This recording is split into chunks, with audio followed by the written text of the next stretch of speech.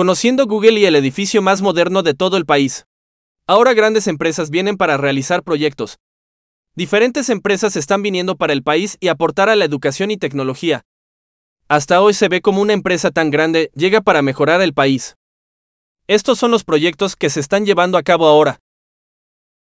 Las oficinas de la empresa están en la zona rosa, un lugar donde hay muchos hoteles y restaurantes, centros comerciales y todo está cerca del centro histórico. Así es venir a conocer el lugar donde está ubicado Google en el país.